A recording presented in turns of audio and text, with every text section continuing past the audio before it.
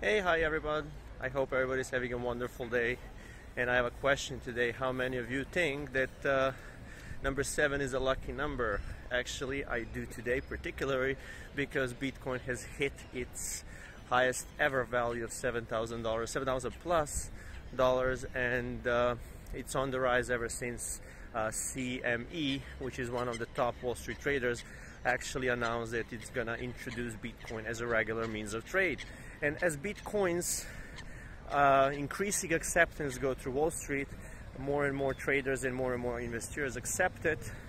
Uh, this can literally skyrocket its value and um, we all know that um, Bitcoin's market cap or capitalization is around 115 billion dollars, which is huge in terms of cryptocurrencies, but it's really, really minuscule and miniature in comparison to the derivatives market, which is 640 trillion dollars.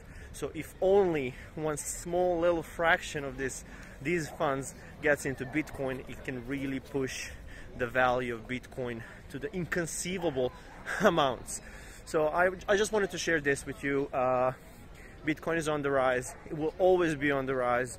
We'll disregard these small fluctuations because when you take a step or two back on that lifetime chart of Bitcoin, it's only going up. And as I said, if only a small fraction of 640 trillion dollars of value in derivative markets enters the Bitcoin market, it will literally, literally skyrocket the value to inconceivable uh, heights. Um, think about it. That's all I wanted to share for today. I hope you're having a wonderful day.